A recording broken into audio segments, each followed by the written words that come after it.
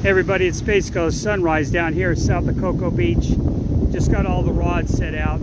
Looking to the north, you can see Cocoa Beach down there. There's some condos down that direction. Water looks pretty good. It's a little rough and windy, but we should be able to get some fish here. Best fishing is going to be between right now and about 9 o'clock, and then won't improve again until about 2. So hopefully we can get on some fish early today.